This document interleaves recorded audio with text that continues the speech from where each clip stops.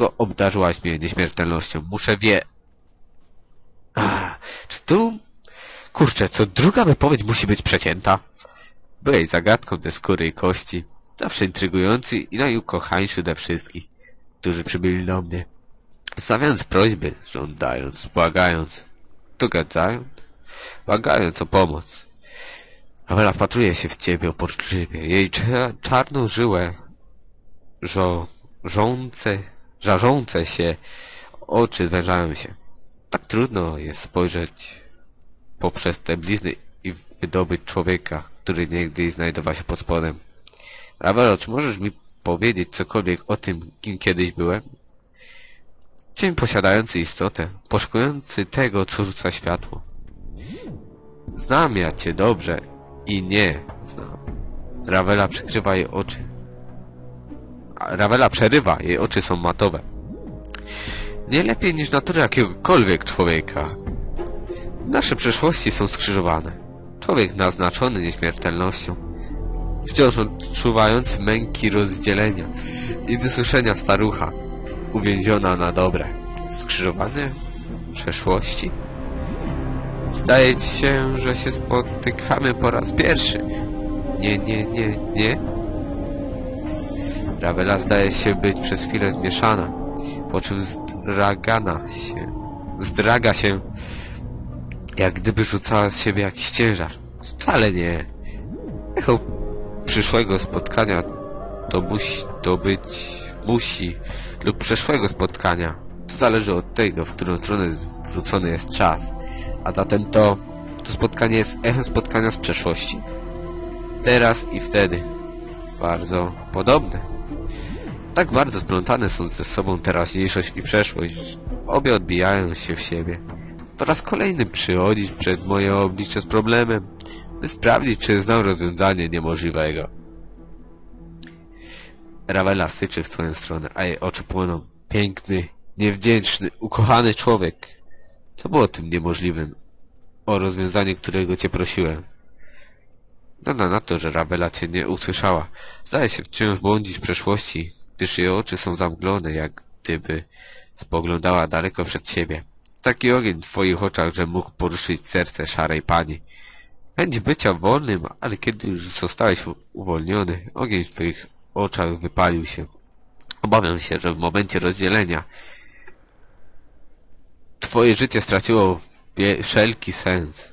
Rawela uśmiecha się, ukazując żółte kły, po czym zaciska je, jak gdyby się śmiała. Może powinieneś warować jak piesek proszący o jedzenie. Może wtedy Rawela rzuci ci kolejny ochlap wiedzy.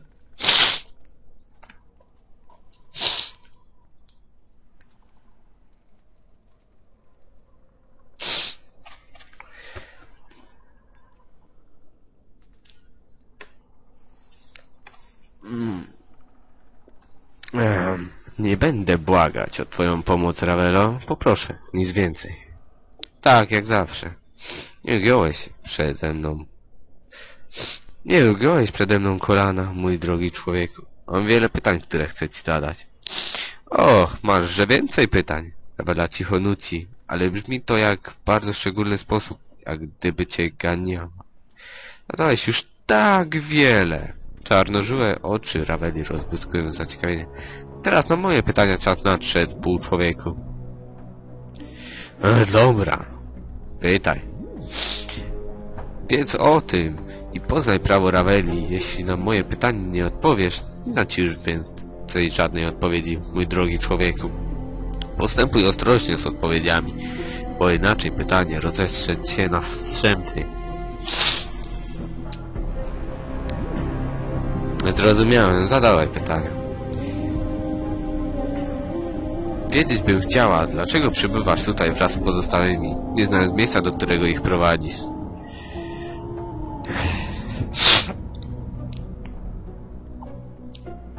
Mm.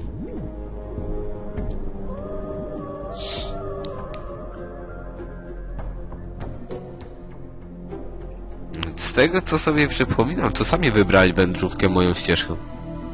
Wybrali? A, to niebezpieczne słowo.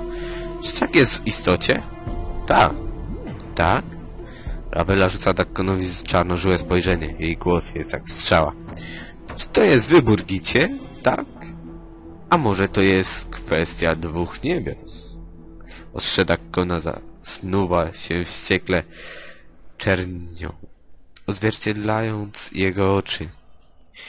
I ku twojemu zaskoczeniu Klinga Karach bezgłośnie dzieli się na ostre kły. Ravelo, zostaw go. Ja odpowiem na twoje pytania, nie oni. A to z pudłem trybów. Szydząc, Ravela zwraca się ku Nortomowi. Co ono wie o wyborach? Stryka palcami, wydając dźwięk podobny do łamania kości. Zna, zna tylko posłuszeństwo, ha? Pytanie. Co definiuje Nordom wybór? Definicja. Wybór. Czynność polegająca na wybieraniu, selekcji, prawo lub możliwość wyboru. Nordomie poczeka. Sprawa między mną a Ravelą. Posłuchaj, Ravelo. A, znowu to samo. Pozwolisz mi dokończyć? A właściwie bezimiennemu powiedzieć do końca. Ravela zwraca się w stronę Mortego. Czaszko, czaszko, czaszko. Po każdym słowie Ravela mlaska językiem, a jej uśmiech rozszerza się. Trudno odczytać wyraz twojej twarzy, ty brak na niej skóry, ale czuję, że twój strach stamtąd wyziera. Przybycie tutaj nie było twoim wyborem. No tak, nie miałem nic lepszego do roboty, tylko pójść do labiryntu pani i spotkać się z jednym z najbardziej złych stworów, jakie kiedykolwiek widziało Sigil. Więc się zgodziłem. Mord, siedź cicho, Ravelo, ja. Znowu to samo. Siedź cicho. Mord zaczyna kłapać zębami. Jeszcze czego? Chyba już wystarczająco długo słuchaliśmy tej zdziry, a teraz ona jeszcze gada, że nie ma skóry. No i co, że nie ma? Właśnie widać, jak to, że ona ma skórę, ją upiększa. Czy jej się wydaje, że mi się podoba latanie z gołą potylicą? I jeszcze jedno. Mord, daj spokój. Ravelo, wiesz. Ten sukup. Ravela mruży oczy. Czy ona miała wybór? Być może w niej gładkoskórym umyśle pełny miękkich jedwabi i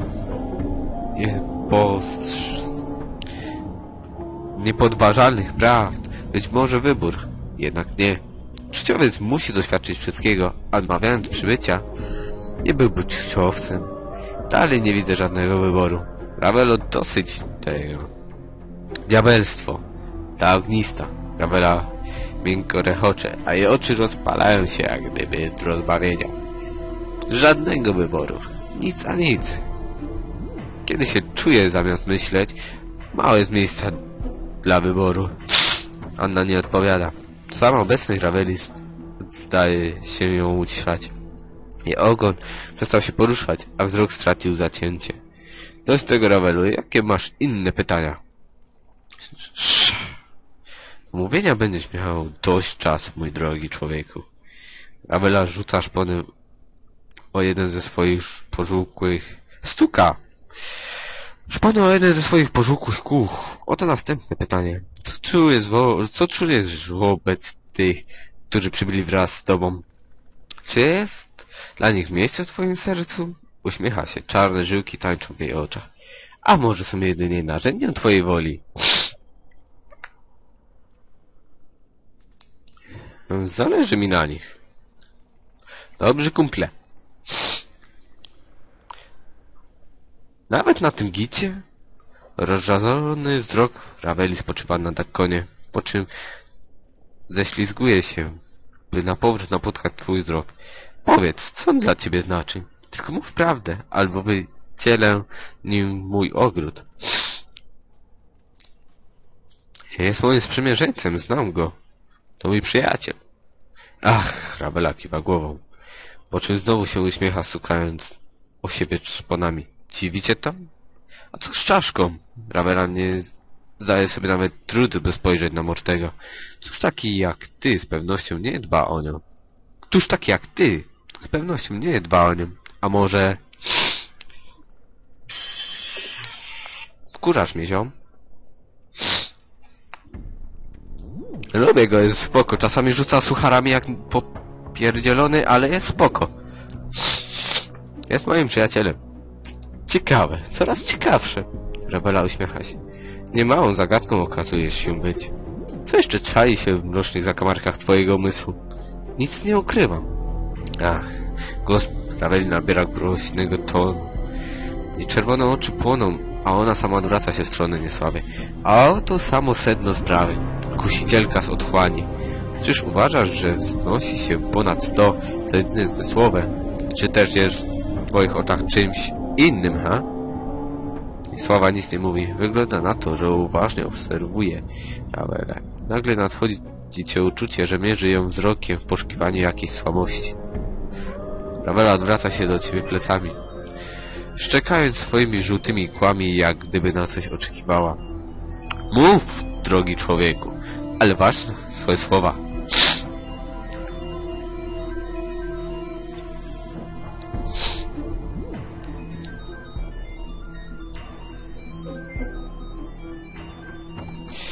Czwóreczka. Lubię ją. Ma wiele pozytywnych cech. Uważam za przyjaciela. Rawela mruży oczy i podnosi wzrok na słabe. Hmm. Dość tych gierek, Rawelo. Słuchaj. Hmm? Rawela obraca się, skrzyta kłami i rzuca Annie przelotne, szydercze spojrzenie. A co z tym kawałkiem ciała? Tym kadukiem? Tym diabelstwem o szkarłatnych włosach i ognistej namiętności? Czym jest ona dla ciebie, mój drogi człowieku?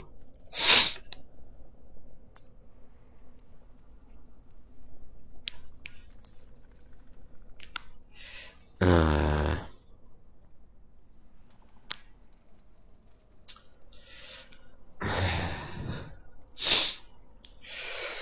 Hmm, Czwóreczka, trochę można zostać szału, jak zaczynają się kłócić z Mortem.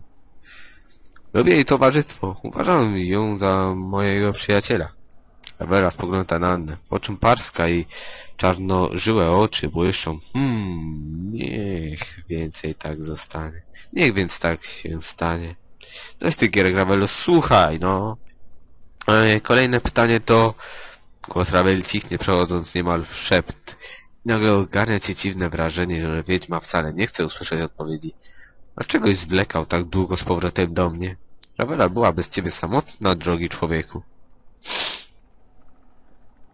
Droga, która tu prowadzi jest trudna, Ravelo.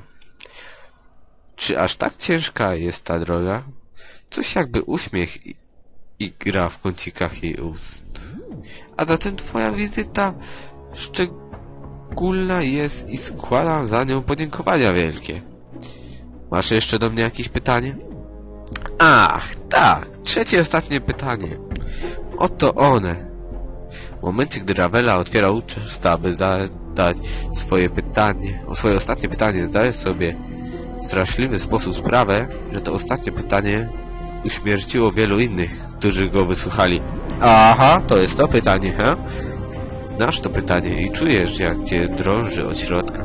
Choć jednoznacznie czujesz się też zobowiązany, by na nie odpowiedzieć. Powtórz. Cóż może zmienić naturę człowieka?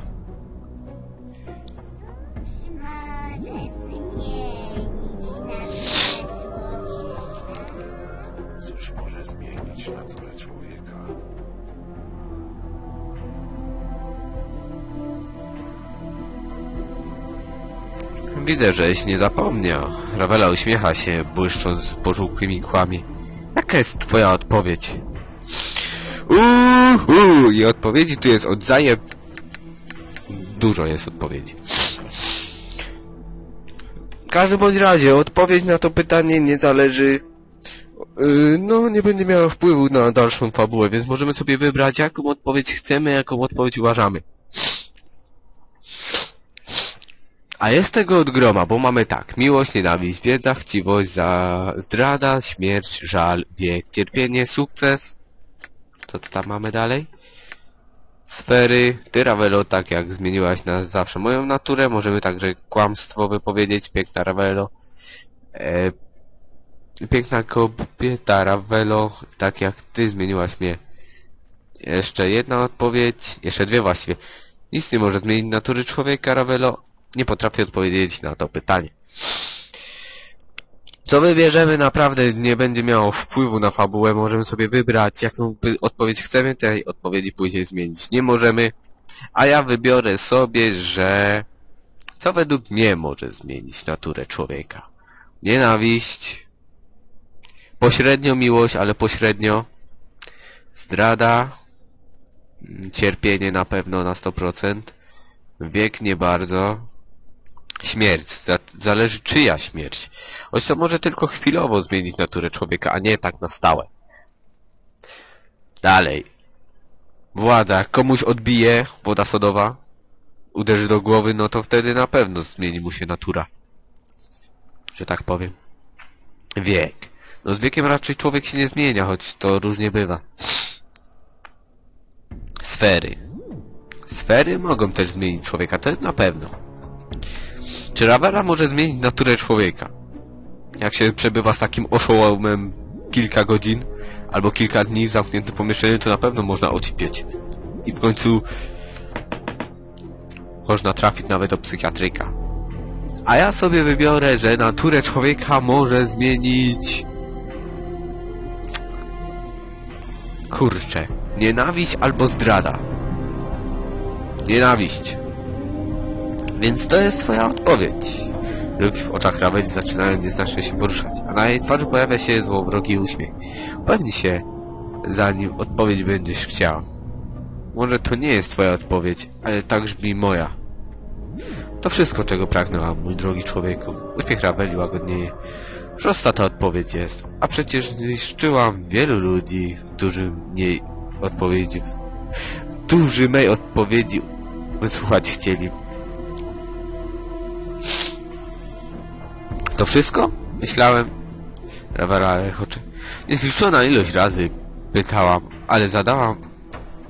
To zadała, ale ni razu te żałosne szkielety, które, zadały, które stawały przede mną, nie odpowiedziały tak, jak same myślą. Zawsze starając się przeniknąć mój umysł i odgadnąć, co ja myślę. Nie ma w tym prawdy. Nie, nie wierzę ci. Tak naprawdę to nie wierzę, żeby oni kiedykolwiek mogli ci udzielić prawdziwej odpowiedzi. Nawet gdyby odpowiedź była dla nich prawdziwa. Nagle Ravela dziwnie milknie. Przygląda ci się uważnie.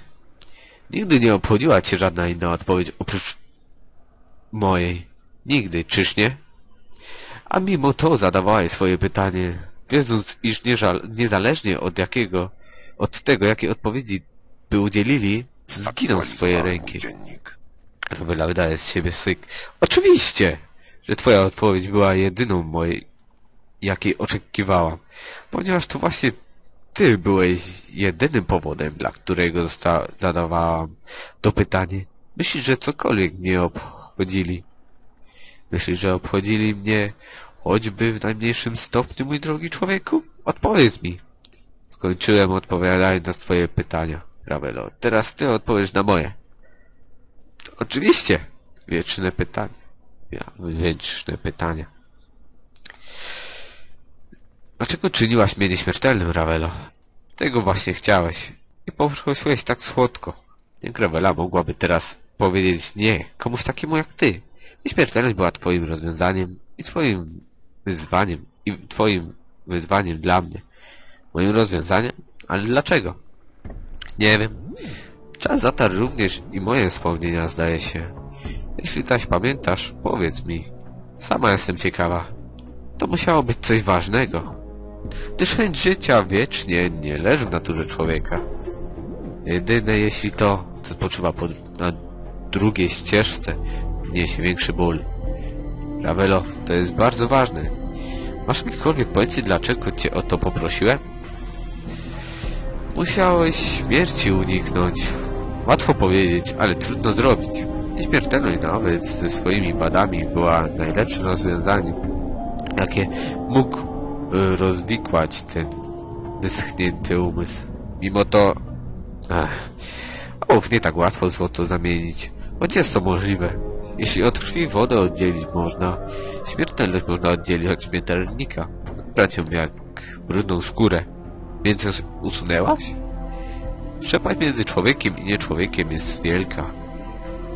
Ty tę drogę pokonać zdołałeś. Ja to umożliwiłam. Ale ty dokonałeś tego sam. Ravela uderza na otwartą dłoń w głowę i rozczesuje palcami włosy. Niedobra Ravela. Śmiertelnicy są zbyt słabi i wadliwi, by trwać na wieki.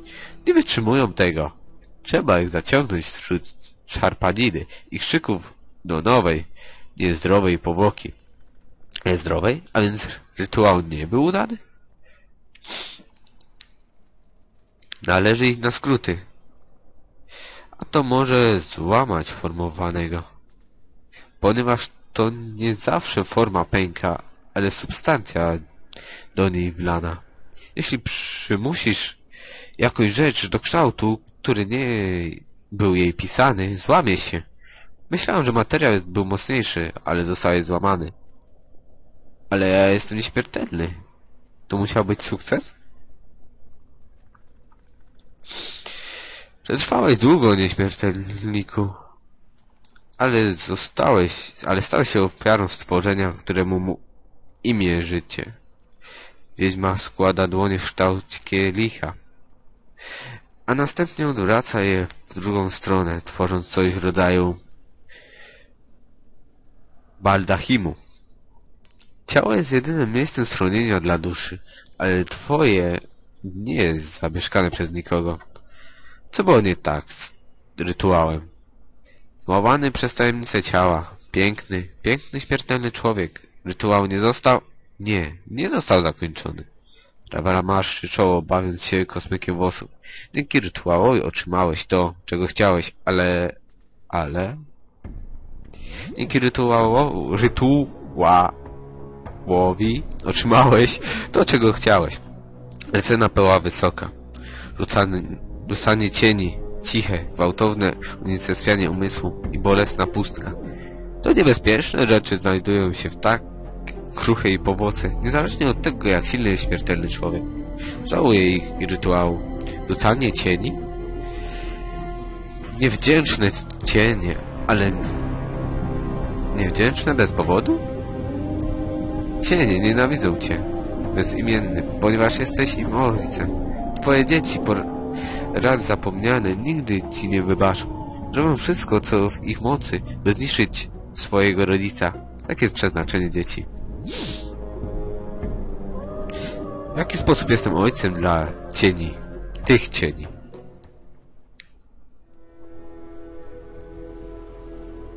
Aha! Cóż to przybyło?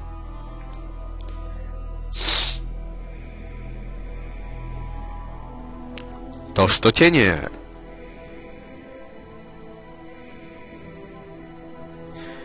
I on cały ten czas za nami się szwędały. Ale mają lipę, bo nie zdążyły. Na istnienie cię nie rzucasz, bezimienny.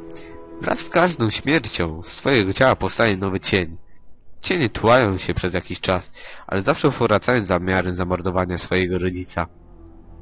Takie jest przeznaczenie wielu potomków. Rawela nadyma z z aprobatą usta, po czym nagle kuje się, się szponem w piersi. Niewdzięcznych młodych ludzi takich jak ty sam. Opowiedz mi więcej o tym rytuale. Ciche gwałtowne unicestwienie umysłu?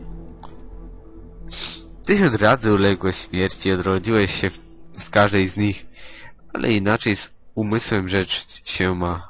Umysł jest o wiele wątlejszy. Jego blizny są głębokie i nie goją się. Mózg okryty jest twardą skorupą z kości, trudną do złamania, ale bezbronną wobec tego, co zżera go od środka. Odpowiedz mi więcej o tym rytuale. Bolesna pustka? Twa śmiertelność spoczywała niegdyś w środku twojej skorupy. Abela zaciska pięść, potrząsa nią. Brzdęk, brzdęk. Grzechocze pusty człowiek, zabawka dla dziecka, niczym więcej oprócz malutkiego kamienia, który stuka i zgrzyta w środku. No powiedz mi więcej o tym rytuale. Pomimo tych problemów wydaje się, że rytuał zadziała. Mój dziennik. Raweli nie dowierzasz? Oczywiście, że dostarczyłam to, co było obiecane.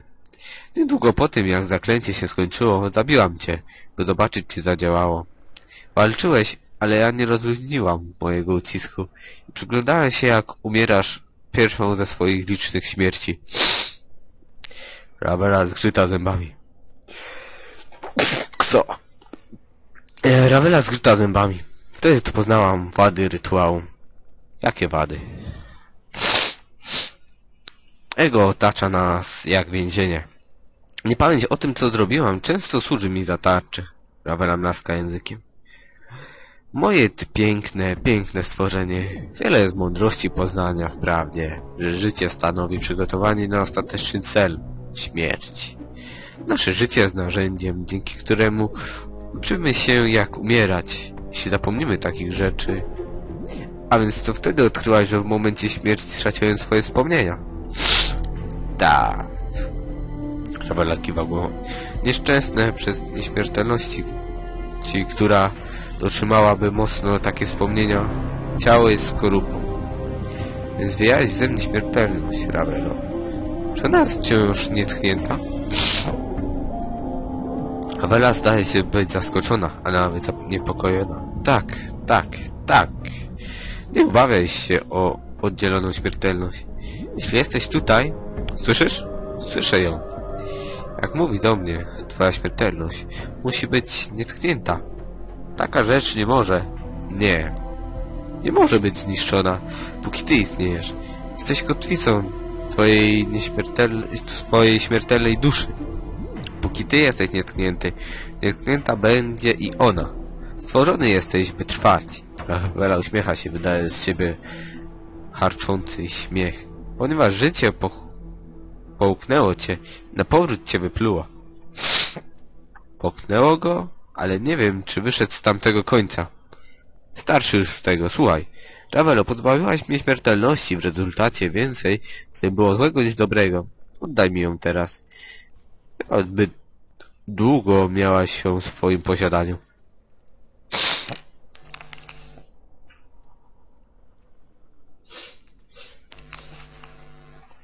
A, stawiasz żą- żądanie. Ravela obnaża swoje żółte kły, zaś jej czarnożółe oczy wyostrzają się i wykręcają. Nie, nie, nie. Tego Ravela ja nie zrobię.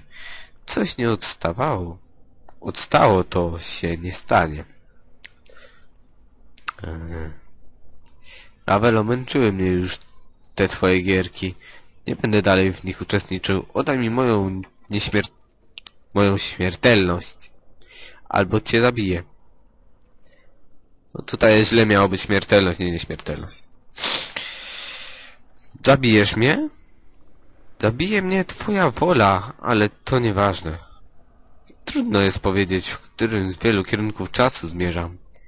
Śmiertelnicy zmierzają w przeciwnym kierunku, patrząc w przyszłość. Natomiast ja zmierzam ku przeszłości, ponieważ nie lubię tego, co widzę w przyszłości. Porzuć tę bezsensowną gadkę, Ravelo. Dość mam tej słownej licytacji z tobą. Oddaj mi moją śmiertelność. Natychmiast. Ravela nie może dać ci takiej rzeczy, mój drogi człowieku, ponieważ Ravela nie ma nic, co by mogła dać. Nigdy nie posiadałam ciebie, czy twojej śmiertelności, chociaż pragnęłam wszystkiego, wszystkiego zatrzymać w moim ogrodzie. Jak pamiątka samolubnego przywiązania, zachować model twojego ciała, ale na takie rzeczy Ravela nie mogła się zdobyć. Czemu nie? Pomińmy to. Na twarzy Raveli pojawia się płytki, szeroki uśmiech. Czy tak trudno ci w to uwierzyć, diabelstwo? Cię rechocze sama do siebie. Czy Ravela, będąc Ravelą, a zatem im mitem, nie zasługuje, aby nosić takie uczucie swoim oplecionym kolcami sercu? Ravelo, wszystkie istoty zasługują na takie uczucie. Jednak historycy nie przypisują ci takich emocji. Przeszłość to przeszłość, a opowieści mało dbają o mówienie prawdy o niej. Ravela marszczy czoło, poczuł jej głos nieco cichnie. Żółw, ro, złowróżnie, a ona przygląda się niesławie. Dosyć, Ravelo, jeśli nie masz żadnej mojej śmiertelności, jeśli nie masz mojej śmiertelności, gdzież więc ona jest?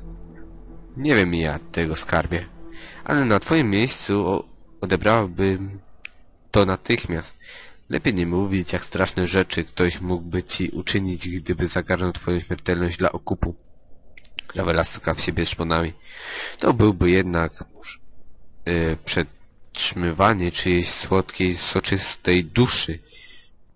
Byłbyś marionetką tańczącą, gdy pociągnie się za jej sznurki.